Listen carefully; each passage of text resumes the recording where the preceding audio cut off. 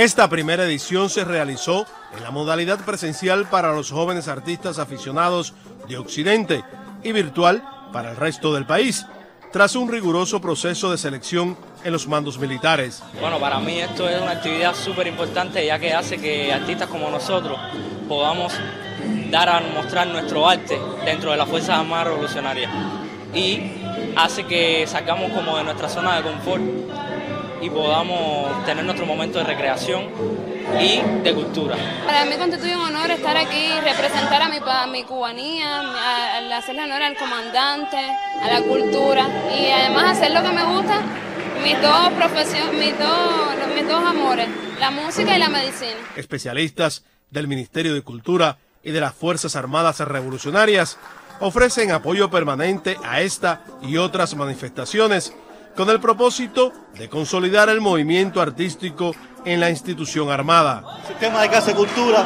siempre ha permitido, o sea, ha asesorado y ha tenido un vínculo directo con las Fuerzas Armadas Revolucionarias porque hemos tenido logros a través de todos los eventos que se han realizado con una calidad muy buena en el movimiento artista aficionado. Sin esta función espiritual no pudiéramos, no pudiéramos vivir, no pudiéramos hacer lo que estamos haciendo, defendiendo eh, las cosas nuestras.